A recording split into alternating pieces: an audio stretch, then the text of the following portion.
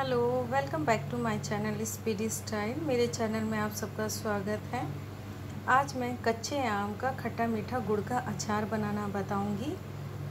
ये अचार बहुत टेस्टी और चटपटा लगता है खाने में और इसमें मसाले भी बहुत कम लगते हैं ऑयल भी कम लगता है और गुड़ में बहुत खट्टा मीठा अचार बनता है ये। तो आज इस रेसिपी को बनाना हम शुरू करते हैं। ये बहुत इजी और जल्दी बन जाती है और बच्चे इसे बहुत अच्छे से खाते हैं। तो इसे हम बनाना शुरू करते हैं।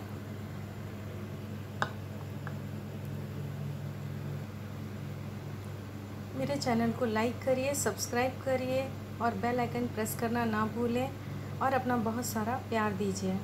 तो चलिए इस अचार को बनाना शुरू करते हैं।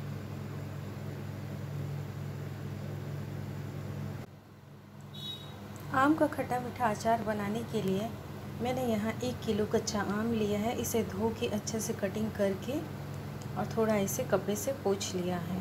साफ़ कपड़े से।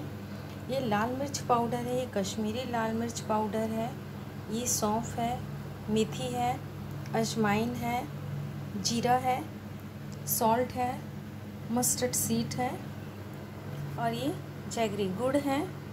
और हम थोड़ा हींग लेंगे। मेथी को और सौंफ को, जीरे को अजवाइन को हम रोस्ट कर लेंगे।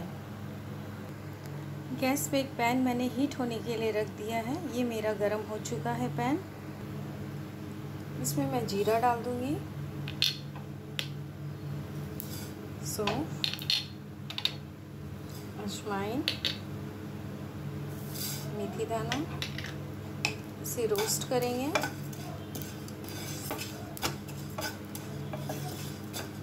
इसे हम लो फ्लेम पे ही रोस्ट करेंगे।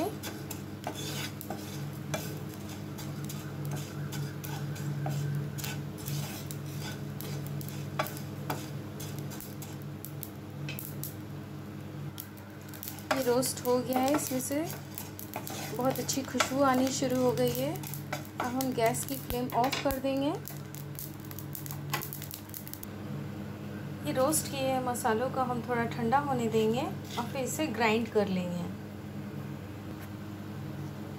मसालों को ग्राइंड कर लिया है। एक मैंने बड़ा पतीला लिया है। इस पतीले में हम हम इस मसाले को डाल देंगे। कश्मीरी लाल मिर्च ऐड कर देंगे। नॉर्मल मिर्च ऐड कर देंगे। सॉल्ट अपने टेस्ट के अकॉर्डिंग ऐड कर देंगे हम। मस्टर्ड ऑयल लेंगे। इसको भी हम यहाँ पर ऐड करेंगे। गुड़ भी ऐड कर देंगे।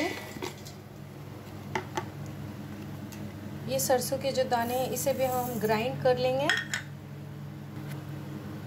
सरसों के दाने हमने ग्राइंड कर लिए हैं। इसे भी हम इसमें इंक्लूड कर देंगे। थोड़ा सा हींग भी डालेंगे। इसे हाथों की हेल्प से हम मिक्स कर लेंगे।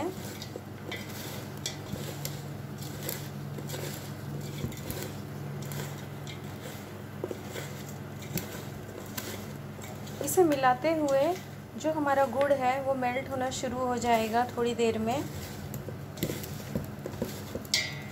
और एक अच्छी जेली बन जाएगी इसमें गुड़ की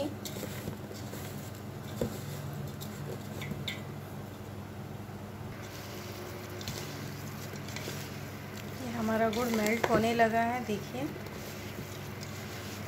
अब हम इसमें कच्चे आम जो कर काट के हमने रखे हैं, वो ऐड कर देंगे।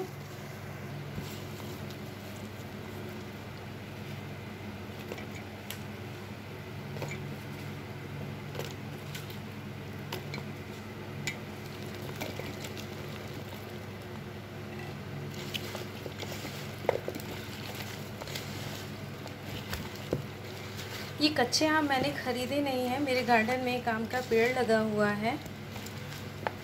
बड़े बड़े तीन आम थे ये। ये उसी से मैं बना रही हूँ। लगभग एक से डेढ़ किलो के करीब ये तीन आम थे मेरे। इसको अच्छे से हम मिक्स कर लेंगे। और इसे हम एक डेढ़ घंटे के लिए इस तरीके से छोड़ देंगे मिला के। तो जो गुड़ है हमारा, वो पूरी तरीके से मेल्ट हो जाएगा। और फिर से हम बर्नी में भर लेंगे बर्नी में भरने के बाद आप इसे 10 से 15 दिन के लिए धूप में रख दीजिए। ये आपका अचार खाने लायक पूरी तरीके से रेडी हो जाएगा। और ये ख़राब भी नहीं होगा। इसे कंटेनर में आप भर के वन ईयर टू ईयर के लिए रख सकते हैं।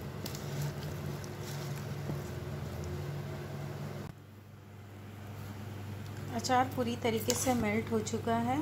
देखिए। गुड़ जो मैंने डाला था वो एक डेढ़ घंटे में पूरी तरीके से मेल्ट हो गया है। इसे मैं एक बर्नी में फिल कर देती हूँ और इसे मैं 12-15 दिन के लिए धूप में रख दूँगी। ये अचार बन चुका है, बस इसे धूप दिखानी है। धूप दिखाने के बाद ये अचार बहुत टेस्टी खट्टा मीठा खाने में चटपटा लगेगा।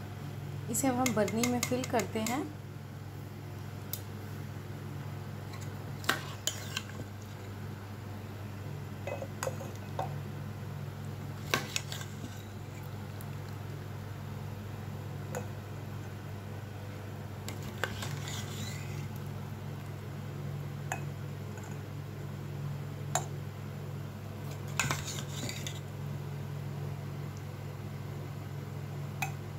बहुत अच्छी खुशबू आ रही है अचार के अंदर से।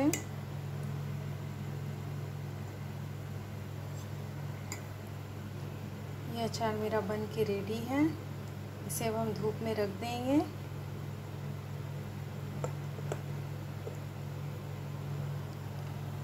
फ्रेंड्स मेरी ये रेसिपी आपको पसंद आई हो अचार की तो प्लीज़ मेरे चैनल को लाइक करिए सब्सक्राइब करिए और अच्छे अच्छे कमेंट्स दीजिए।